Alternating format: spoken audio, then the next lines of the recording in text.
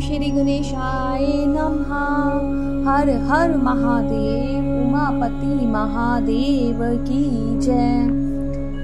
शिवलिंग की स्थापना, उसके लक्षण और पूजन की विधि का वर्णन तथा शिव पद की प्राप्ति कराने वाले सत्कर्मों का विवेचन। ऋषियों ने पूछा, सूत जी, शिवलिंग की स्थापना कैसे करनी चाहिए? उसका लक्षण क्या है? तथा उसकी पूजा कैसे करनी चाहिए? किस देश काल में करनी चाहिए? और किस दिव्य द्रव्य के द्वारा उसका निर्माण होना चाहिए? सूत जी ने कहा महर्षियों मैं तुम लोगों के लिए इस विषय का वर्णन करता हूँ। ध्यान देकर सुनो और समझो। अनुकूल एवं शुभ समय में किसी पवित्र तीर्थ में नदी आदि के तट पर अपनी रुचि के अनुसार ऐसी जगह शिवलिंग की स्थापना करनी चाहिए, जहाँ नित्य पूजन हो सके। पार्थिव द्रव से, जलमय द्रव से अथवा तेजस पदार्थ से अपनी रुचि के अनुसार कल्पोक्त लक्षणों से युक्त शिवलिंग का निर्माण करके उसकी पूजा करने से उपासक को उस पूजन का पूरा पूरा फल प्राप्त होता है। संपूर्ण शुभ लक्षणों से युक्त शिवलिंग की यदि पूजा की जाए तो वह तत्काल पूजा का फल देने वाला होता है। यदि चल प्रतिष्ठा करनी हो तो उसके लिए मोटा सा शिवलिंग अथवा विग्रह श्रेष्ठ माना जाता है। और यदि अचल प्रतिष्ठा करनी हो तो स्थूल शिवलिंग अथवा विग्रह अच्छा माना गया है। उत्तम लक्षणों से युक्त शिवलिंग की पीठ सहित स्थापना करनी चाहिए। शिवलिंग का पीठ मंडलाकार, गोल, चौकर, त्रिकोण अथवा घाट के पाए की भांति ऊपर, नीचे, मोटा और बीच में पतला होना चाहिए।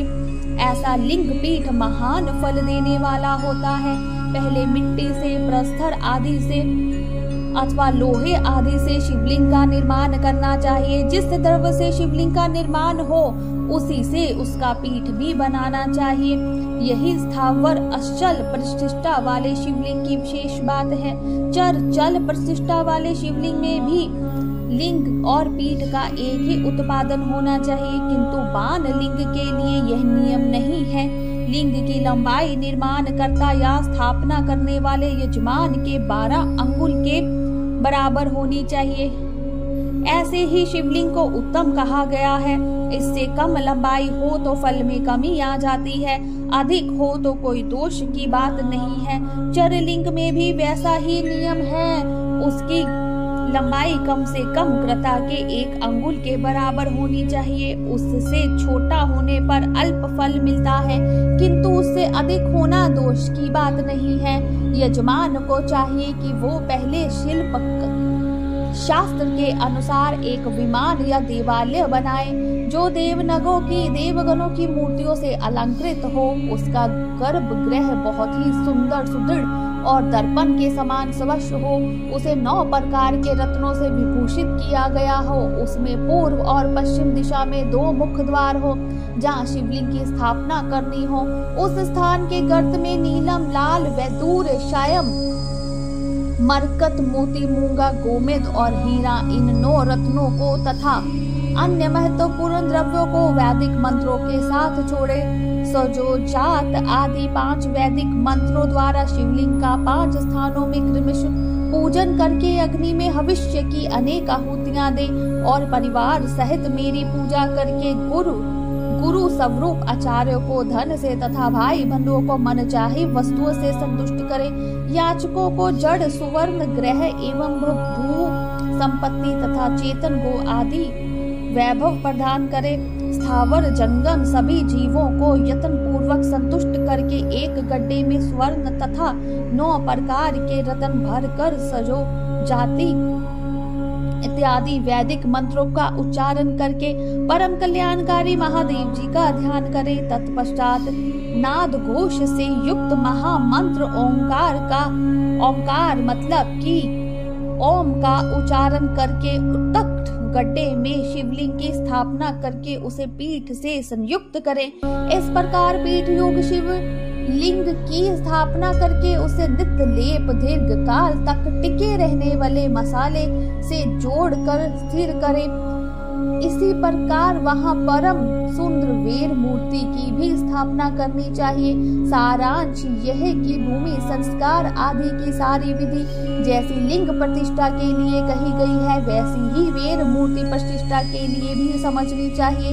अंतर इतना ही है कि लिंग प्रतिष्ठा के लिए प्रणव मंत्र के पर उच्चारण का विधान है, परंतु वेद की प्रतिष्ठा पंचाक्षर मंत्र से करनी चाहिए। जहाँ लिंग की प्रतिष्ठा हुई है, वहाँ भी उत्सव के लिए बाहर सवारी निकालने आदि के निमित्त वेर मूर्ति को रखना आवश्यक है।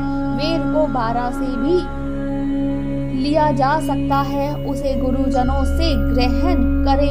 वह वेर वही लेने योग्य है, जो साधु पुरुषों द्वारा पूजित हो। इस प्रकार लिंग में और वेर में भी की हुई महादेव जी की पूजा शिव पद प्राप्त करने वाली होती है। स्थावर और जंगम के भेद से लिंग किए भी दो भेद है। वृक्ष, लता आदि को स्थावर लिंग कहते हैं और कृम, कीट आदि को जंगम लिंग। स्थावर लिंग की सिंचन सिंचने आदि के द्वारा सेवा की करनी चाहिए और जंगम लिंग को आहार एवं जल आदि देकर तृप्त करना उचित है। उन स्थावर जंगम जीवों को सुख पहुँचाने में अनुरक्त होना। भगवान शिव का पूजन है, ऐसा विधान पुरुष मानते हैं। यूँ चराचर जीवों को ही भगवान शंकर के प्रतीक मानकर उनका पूजन करना चाहिए।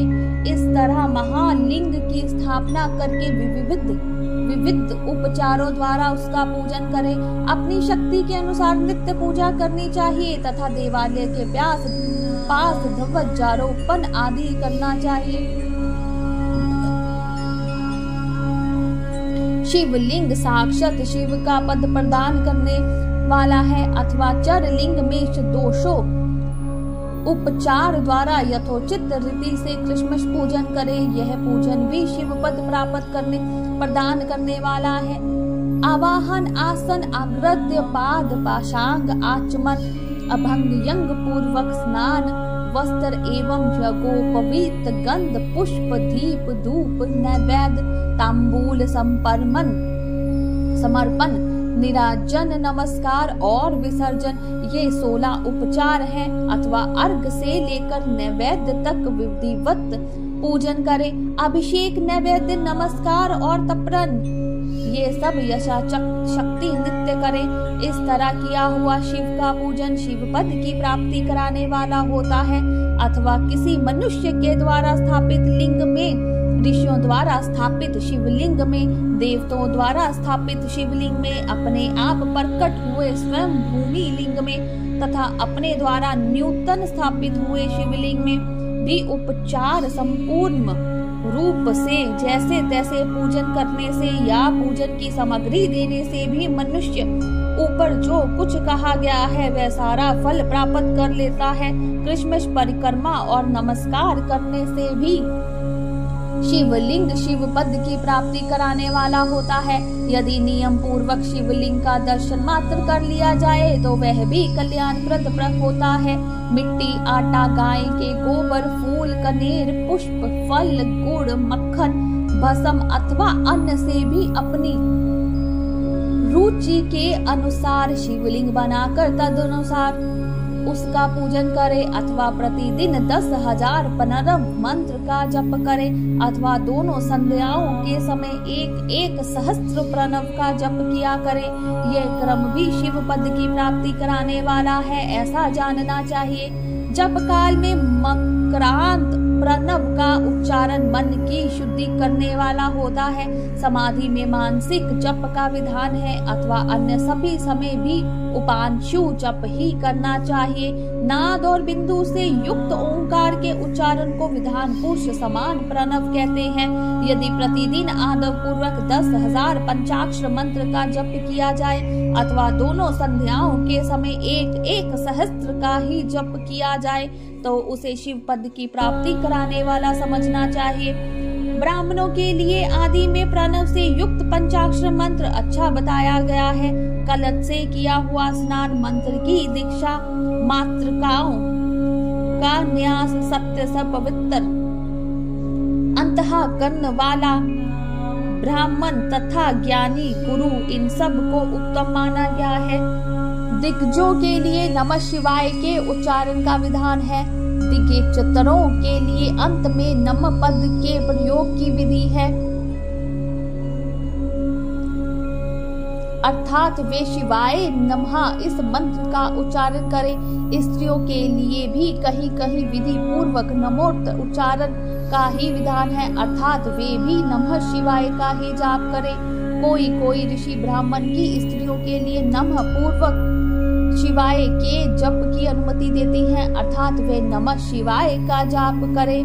पंचाक्षर मंत्र का पाँच करोड़ जप करके मनुष्य भगवान सदा शिव के समान हो जाता है। एक, दो, तीन अथवा चार करोड़ का जप करने से ब्रह्मा, विष्णु, रुद्र तथा महेश्वर का पद प्राप्त होता है। अथवा मंत्र में जितने अक्षर हैं, उनका पृथक पृथक एक एक लाख जप करें, अथवा समस्त अक्षरों का एक साथ ही जितने अक्षर हो, उतने लाख जप करें। इस तरह के जप को शिव पद की प्राप्ति कराने वाला समझना चाहिए। यदि एक हज़ार दिनों में प्रतिदिन एक सहस्त्र जप करके कृष्मिश क्रम से पंचाक्षर मंत्र का दस लाख जप पूरा कर लिया जाए और प्रतिदिन ब्राह्मण भोजन कराया जाए तो उस मंत्र से अभीष्ट कार्य की सिद्धि होने लगती है। ब्राह्मण को चाहिए कि वह प्रतिदिन एक हज़ार आठ बार गायत्री का जप करे। ऐसा होने पर गायत्री कृष्ण शिव का पद प्रदान करने वाली होती है। वेद मंत्रों और वैदिक सूत्रों का भी नियम पूर्वक जप करना चाहिए। वेदों का प्रायण भी शिव पद की प्राप्ति कराने वाला है। ऐसा जानना चाहिए। अन्याय जो बहुत से मंत्र है, उनका भी जितने अक्षर हो, उतना लाख जप करें। इस प्रकार जो यथाशक्ति जप करता है वह कृष्ण शिव पद मोक्ष प्राप्त कर लेता है। अपनी रुचि के अनुसार किसी एक मंत्र को अपनाकर मृत्यु उपरांत प्रतिदिन उसका जप करना चाहिए।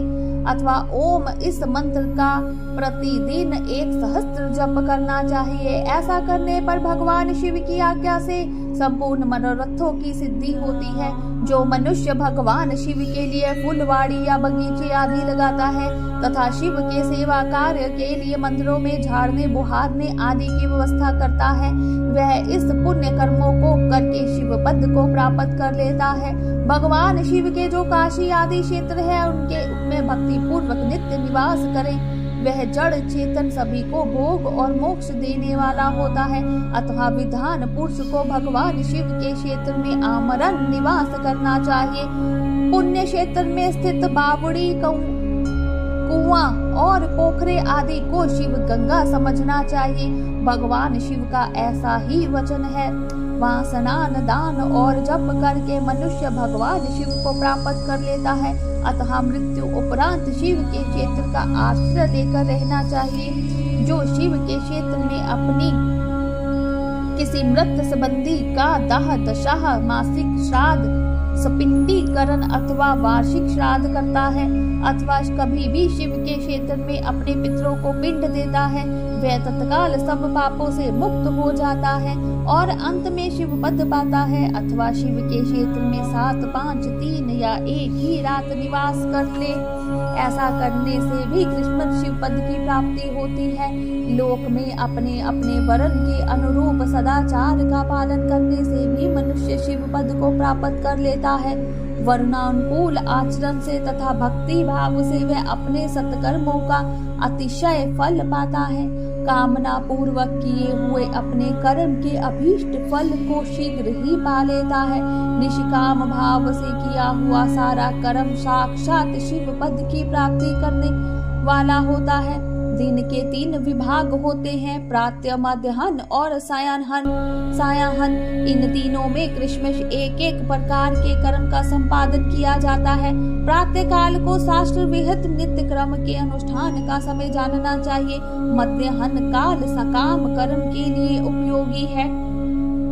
और सायकाल शांति कर्म के लिए उपयुक्त है। ऐसा जानना चाहिए कि इसी प्रकार रात्रि में भी समय का विभाजन किया गया है। रात के चार पहरों में से जो बीच के दो पहर है, उन्हें निशिथल काल कहा गया है। विशेष गत्य उसी काल में की हुई भगवान शिव की पूजा अभीष्ट फल को देने वाली होती है। ऐसा जान कर कर्म करने वाला मनुष्य यथोत फल का भागी होता है। विशेष गत्य कलयुग में कर्म से ही फल की सिद्धि होती है। अपने अपने अधिकार के अनुसार ऊपर कहे गए किसी भी कर्म के द्वारा शिवाराधना करने वाला पुरुष यदि सदाचारी है और पाप से डरता है तो वह अन्न तो वह उन उन कर्मों का पूरा पूरा फल अवश्य प्राप्त कर लेता है।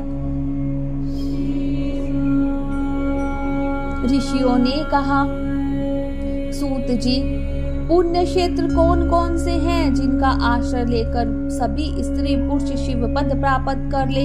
यह हमें संक्षेप में बताइए। बोलिए, शंकर भगवान की जय। उमापति महादेव की जय। हर हर महादेव।